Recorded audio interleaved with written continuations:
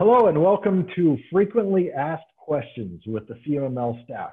As this is a virtual conference and we're all used to Zoom by now, we figured that this might be a great way to answer some of the questions that we receive here at CMML.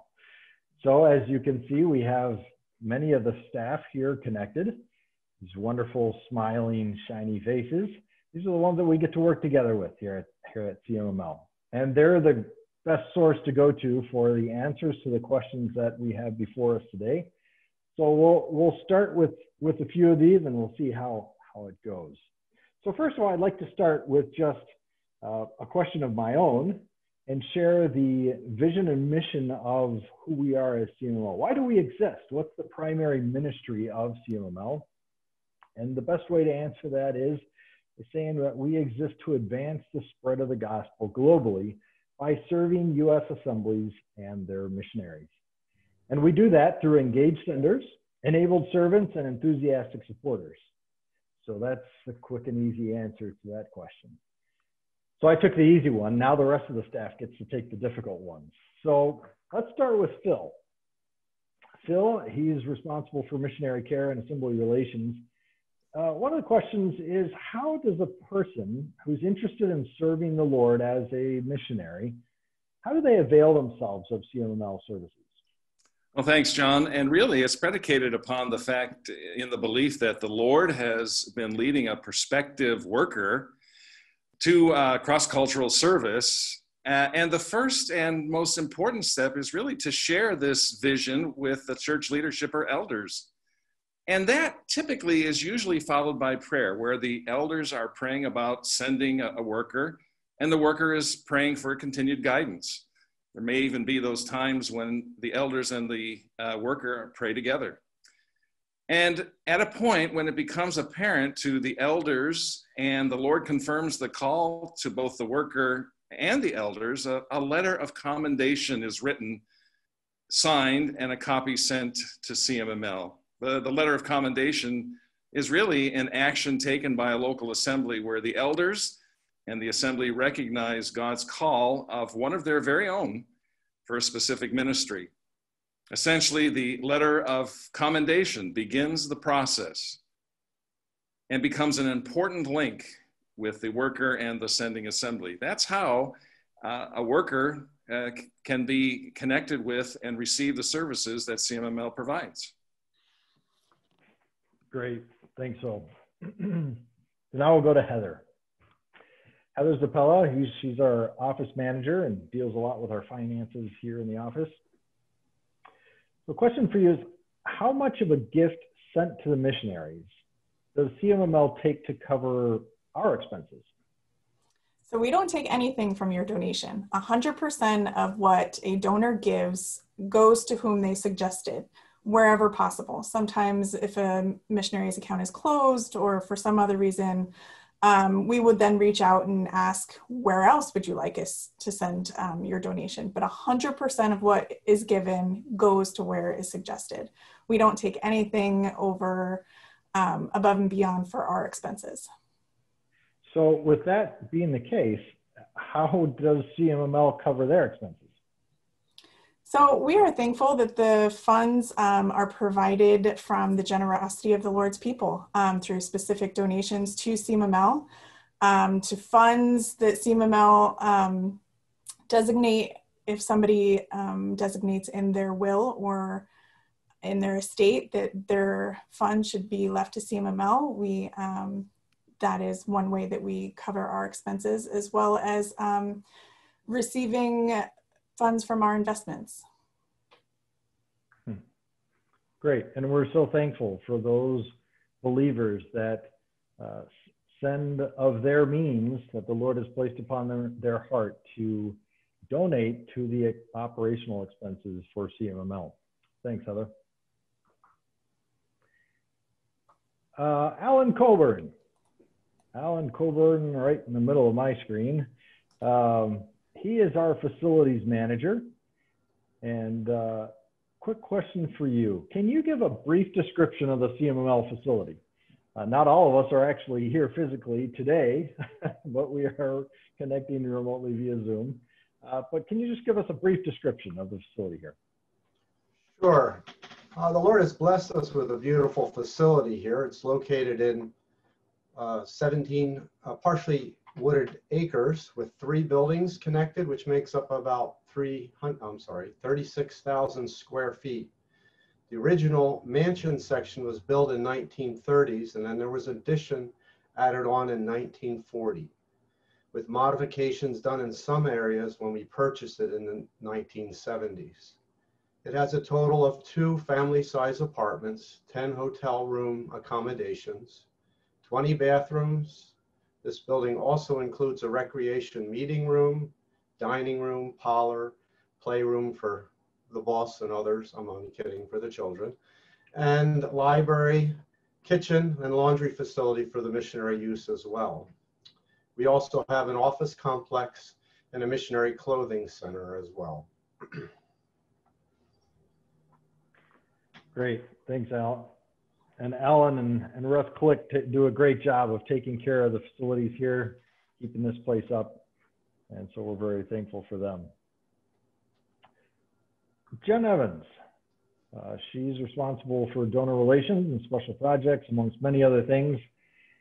So if someone wants to send something here to CMML, what address should they use to send something here? It actually depends on what they're sending. If they're going to send a donation or a letter, um, a book, they can use our P.O. Box uh, address, P.O. Box 13, and that's in Spring Lake. The actual address you can get from our website. The, if they're going to send a box, whether it be to the clothing center or to the office, they should use our location address, which is located here in Wall Township, New Jersey. So any envelopes, one book or smaller, can go to the PO box, and other anything bigger needs to go to uh, the actual address. Yes, please. Street address. Great. Thanks, Jen. Let's move on to the clothing center, who we have with us today, Marilyn Risden, who helps out with the management of that. We're so thankful for her work there. A question for you today. What kind of things can we receive at the clothing center people can ship to us or deliver personally? Thanks, John. Uh, the clothing center serves our missionaries internationally as well as full-time workers here in the United States. The key of uh, what is most useful uh, would be clothing that is multifunctional. Many of our missionaries have uh, limitations on baggage. They also have families they have to consider when they come to shop free of charge in the clothing center. And the clothing needs to be something that can be uh, used uh, for many different functions in their life.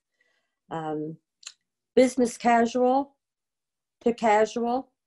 At the present time, we're phasing out uh, most of our men's suits just because of changing styles and, um, and trends. Many of our missionaries fall in the category of uh, 50 and under. And so uh, a business casual approach to dressing is, is much more practical. Um, we also maintain a clothing center fund and donations that are sent to that are used to purchase items such as uh, men's, men's and children's shoes especially. So if you're uh, at a, a, distance and postage is uh, an issue in mailing packages, uh, you can always make a, a monetary donation that will be used well.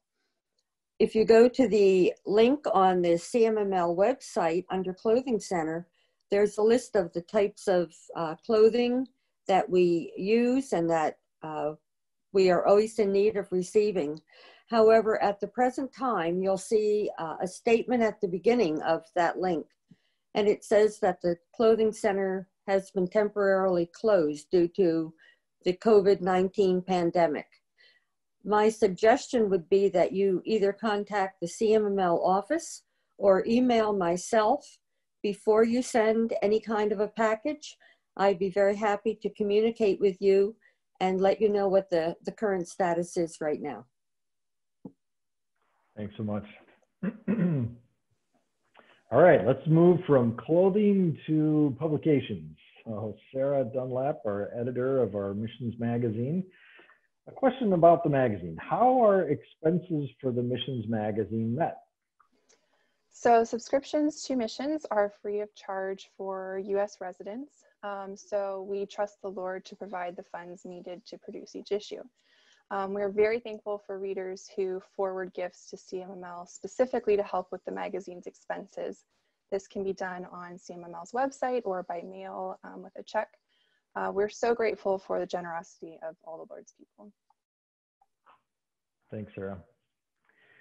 And now let's move to Mary Parsons, our hostess here at the guest house. A question for you. Who can stay at the CMML guest house and how much does it cost? Okay, so I'll answer the easy part first. There is no charge for anyone staying at CMML's guest house. Uh, we uh, make a priority for our overseas missionaries, anyone that's listed in our handbook or um, is a commended worker overseas, they're the top priority. And uh, we really enjoy those missionaries coming from uh, all over to visit us here. Also, um, from time to time, full-time workers, especially those uh, who are traveling through having meetings in the area, uh, they will come and they will stay too, provided that we have the room. Um, sometimes people ask, um, so how many can you accommodate in your guest house? And uh, we're um, sort of that number can wiggle a little bit when we have reaching higher here and lots of kids sleeping on blow up beds and things, we can maybe have as many as 40. Uh, but 20 to 25, I would consider full depending on the number of families or singles or um, couples that are in residence. So we can be full uh, with about 20 to 25. So, how many missionaries come through the guest house in a given year? Obviously, that fluctuates. It does fluctuate, and we were trying to pin down uh, some of our numbers. Um, I would say between two and 300 uh, would be on an average, um, uh, an average year. We would have um, uh, some people coming for just maybe a night or two, uh, families coming for uh, a rest time, and um, then others maybe stay for a few months. So depending on on how well that goes. Uh, maybe between two and 300 uh, would be an average. Great. Thank you. now, uh, moving over to Craig. Craig Fritchie does conferences, security, and a lot more. A question for you What can CMML do to help my local assembly foster and cultivate interest in missions? And what kind of resources can you share? Thanks, John. Um, a big piece of what we do uh, with the conferences is we try to bring missions to uh, the communities and to the assemblies around. And uh, a big way that, that people can get engaged in missions and you can encourage missions in your community and your, of assemblies is to attend some of these events.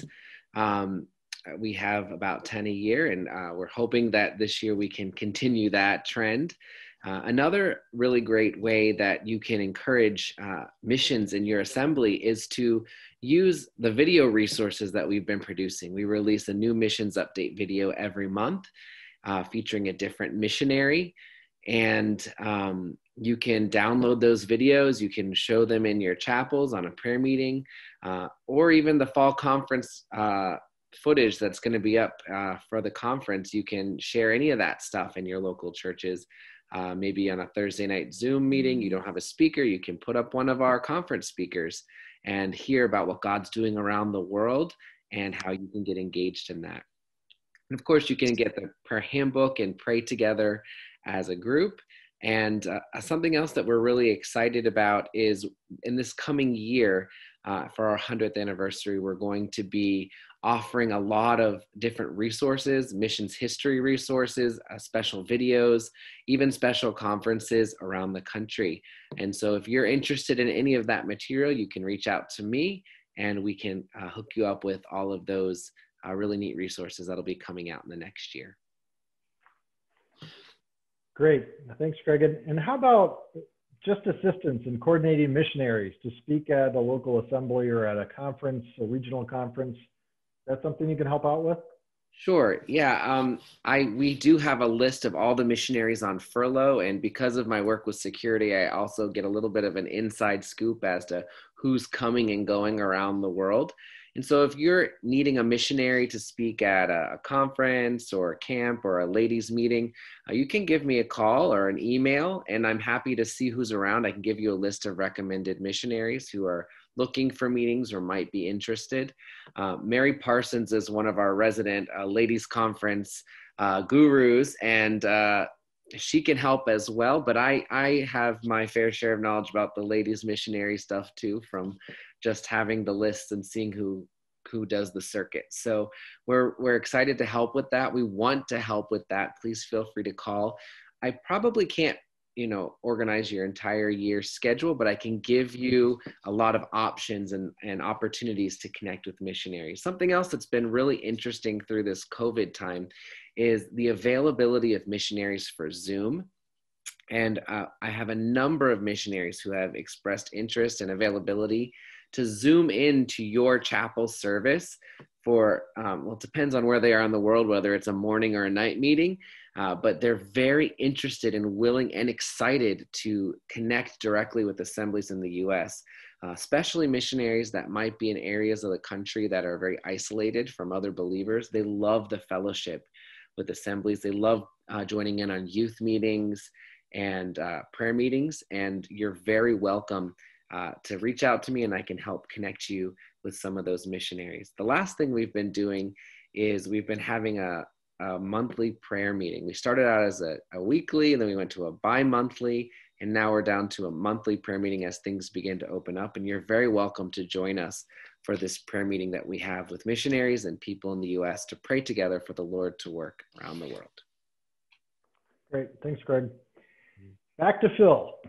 So, Phil Parsons uh, question about mop, and you might say, what in the world? Is that what I do to clean the floor? No, this is missionary orientation program. So Phil, what is MOP? Who's it for? And how can it help prospective missionaries? Well, th thanks again, John. Uh, the Missionary Orientation Program, that's where the uh, uh term MOP comes from. Uh, it's a program that began in 1991, and it, uh, it began where the uh, leaders, both at MSC, our sister organization in Canada, and those at CMML, were uh, trying to de determine why were some of our workers newly commended returning from the field within the first uh, six to 12 months. And it was grappling with that question that formed the uh, missionary orientation program, which is really a rather intensive one week training program uh, that is prepared for any who are seriously considering serving in a cross cultural setting. And the range of interests can span from merely, merely exploring missions to those who are ready to go. And really, the purpose uh, is to help make those first 12 to 18 months um, uh, easy in terms of sensitizing the potential worker to the crucial issues of living and making disciples in a cross cultural environment. Hmm. That's great. Thanks for that, Phil. Heather, you're up again. Uh, so, to what extent is CMML growing or shrinking? Is the number of new workers increasing or decreasing? You take care of the handbook numbers. So, can you help us with that? Yes, so the Lord has faithfully called new workers to the field to help continue on the work of others that may be leaving the field. So I would say, according to the Missionary Prayer Handbook, that we've remained somewhat consistent. Um, there's been a slight growth, but it seems to be somewhat equal in terms of the workers that are going as well as the workers that are coming home. Yeah, so over the last uh, month or maybe more, we've been spending some time looking at history and it's been interesting to see some of the growth times in history of more workers going out to the field and as heather said these these last few years we've we've kind of stayed pretty steady which we're very thankful for that even though many are returning from the field from retirement uh, there are those replacing them uh, maybe not necessarily in the same fields but the numbers are staying consistent. Wouldn't it be great if the Lord were to call many more and our numbers again take the increase that it took uh, some years back as, as numbers were climbing uh, a few years ago? Maybe the Lord's calling you to serve him on a foreign field. Thanks, Heather. Uh, Sarah Dunlap, let's go back to you. So one of the questions we get from folks in the assemblies about the Missions Magazine is, I haven't received my October issue. Where is it? Yeah, so this is a question we get often. Um, and while Missions is often thought of as a monthly magazine, it's actually published 11 times per year. Um, so each year we produce 10 monthly issues and then um, in September, October, we have one double issue. So you receive that double issue in early September and then the next issue doesn't come out until November. So that's why they don't receive it. And obviously this allows for a little less work here in the office as we prepare for the handbook, which is which come the work of it is is being done at that point of the year and obviously the planning for, for the next year for the missions magazine. Um, so thanks, Sarah. Alan Coburn, you're back up. Uh, how can someone help out or donate to the upkeep of the facility? Well, yes, there are actually several ways. One of it, which we love to have as well is you can donate your actual time and your skills and you can come help us with some maintenance needs. We can coordinate uh, with you on that. That's an excellent way to help in that way. Uh, we also, through that, we've had schools, uh, different schools that come and do projects with uh, the students as well as churches with their youth group and some of the older group as well has come and done uh, projects around the facility. So that's one way of just using your abilities and skills in that way to help. Uh, there's also, if you uh, uh, desire also, you can also contact me too as well because I also have some leads into missionaries who need help as well. And I can point you to their needs and direction as well. And then here at the facility, again, you can uh, also donate uh, money toward the capital building fund that would go directly toward projects and other specific items, i.e. tool replacement or bathroom upgrades at, as well. So you can ask or call me specifically or email me and uh, I could tell you what the present needs are at the time and we could uh, point you to the projects and we'd be glad to have you come and help us as well. So we always welcome help. Yes. Thanks, Alan. And Jen, as you guys can tell, this is happening live. And so Jen had to jump up and take a call and she's probably someone at the door. It, it, there's never a dull moment here at CMML. Well, Jen, question for you. What is the best way to donate to CMML? The best way to donate to CMML is whichever way is easiest for you. There are three ways to donate. One, you can send a check. Two, you can set up an EFT, which it comes, the donation that you would send would come right out of your bank account. Uh, as long as you give every month to the same missionary, which makes it a little easier on us. Um, that's the probably the easiest way for us is to have an EFT. It's directly out of your bank account into ours, and it goes directly to the missionary's account. Uh, the third way is uh, online with your debit or credit card. You can also set up a recurring monthly donation here as well. Great. So if if we're looking for the easiest way for work here in the office, the EFT is the way to go. Is that right, Jen? Correct. But we're always happy to handle your donation. However, uh, the best way is for you to get it we'll make sure that it gets to the missionary that you're donating to, or if you're donating to the operational expenses here of CMML. Well, thanks for joining us today. Thank you, staff, for the, the wonderful answers. We trust that this was helpful for everyone and that this will kind of open your eyes a little bit better to how things work here and how we can best serve you. We're uh, thankful that you, as whether an enabled servant out on the mission field an engaged sender here at the home assemblies or just an enthusiastic supporter all the way around. we're happy to serve you as you serve the Lord.